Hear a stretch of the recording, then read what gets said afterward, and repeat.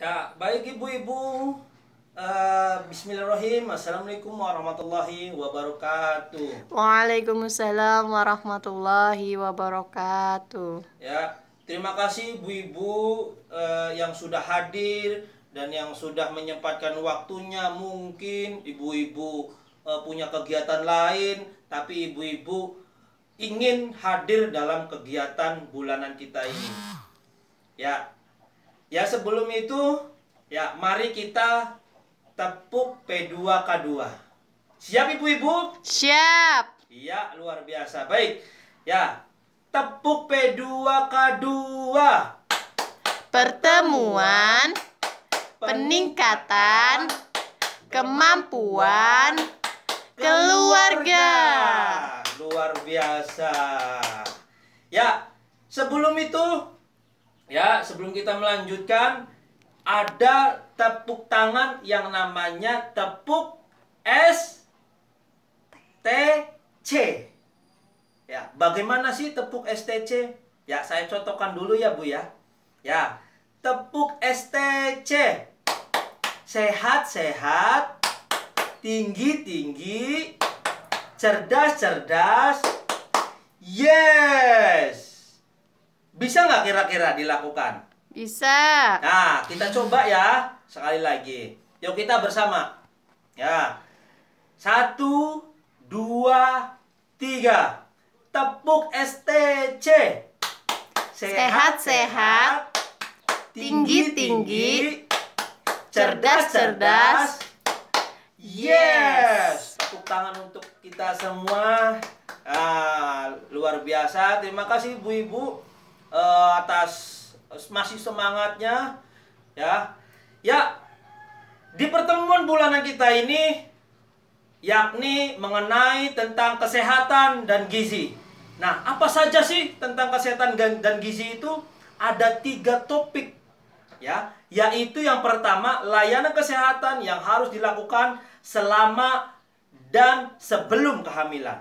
Yang kedua, kebutuhan gizi ibu hamil. Nah, yang ketiga, bagaimana memanfaatkan bantuan PKH, BPNT, dan JKN selama kehamilan dan selama persalinan. Nah, paham ya Bu ya? Nah, Paham. nanti kita bahas itu. Nah, sebelum itu eh, untuk ibu-ibu silakan berdiri semuanya. Ya, bagus. Ya, kemudian silakan ibu-ibu berpasang-pasangan. Ya, dua-dua berhadap-hadapan. Ya, seperti itu, Ibu Dewi. Ya, kemudian Bu Tati sudah dapat pasangannya? Sudah. Ya, luar biasa. Ya. Udah semuanya? Sudah, Pak. Ah, ya, silakan masing-masing pasangan menceritakan harapan ibu-ibu, maksud saya harapan anak dari ibu-ibu di masa depan. Paham bu? Ya, silakan. Saya kasih waktu dua eh, satu menit setengah. Ya, silakan nanti bergantian ya bu ya.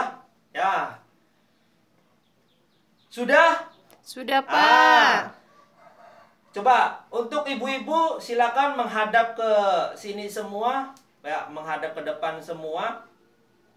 Ya. Saya ambil contoh Ibu Dewi. Ya, Ibu Dewi bagaimana hasil obrolan tadi? Apa? Ingin anak ibu itu jadi anak yang cerdas. Luar biasa. Yuk kita beri tepuk mantul untuk Bu Dewi. Tepuk mantul.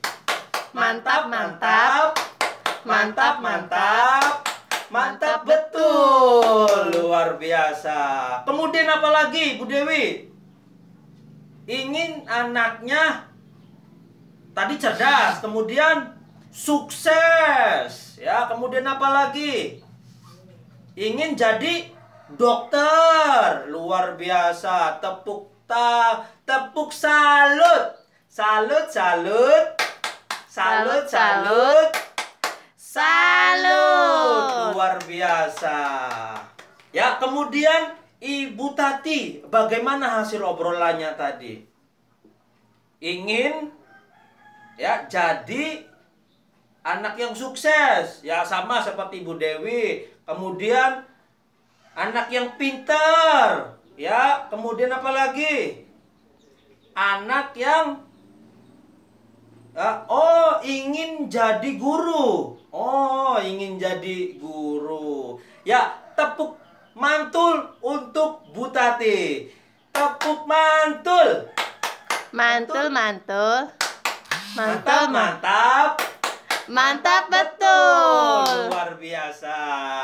Ya, itu semua harap-harapan ya dari ibu-ibu terhadap anaknya. Ada yang pengen jadi anak yang cerdas, anak yang pintar, anak yang berbakat, anak yang sukses, anak jadi pengen jadi anaknya jadi anak dokter apa jadi dokter maksud saya jadi presiden dan lain sebagainya. Pokoknya yang baik-baik. Ya. Ya luar biasa. Ya harapan dari ibu-ibu semua. Ya. Ya kemudian silakan ibu-ibu duduk kembali. Ya. Terima kasih. Ya terima kasih eh, atas ibu-ibu semua atas kesempatannya ya dalam mengikuti eh, kegiatan bulanan kita ini yakni P2K2.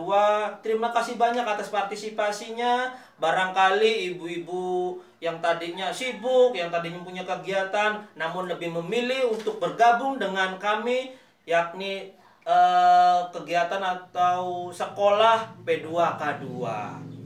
Ya, saya pengen tanya nih Ibu. Jadi kesimpulannya apa yang tadi diobrolkan Ibu semua? Jadi ibu-ibu ingin anaknya sehat ya. Ya.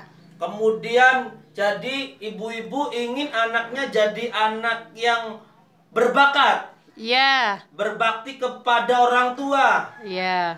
Kemudian jadi anak yang sukses di sekolahnya. Ya. Ah, semua itu ya semua itu eh, dapat ya keinginan dan harapan ibu-ibu itu dapat dilakukan ya dapat ditumbuhkan menjadi anak yang sehat, anak yang tinggi, anak yang cerdas. Ah, itu semua dapat tercapai jika orang tua atau ibu-ibu semua memberikan perhatian anak-anaknya, eh, maksudnya memberikan perhatian itu sejak dalam kehamilan. Ya, intinya saya sekali lagi ya bahwa jika keinginan dan harapan atau cita-cita ibu-ibu yang semua yang tadi diobrolkan itu dapat tercapai dan dapat dilakukan sejak dalam kandungan. Beri perhatian ya, Bu ya. Ya. Baik itu semua eh, ya sebagai pembuka kita ya Terima kasih.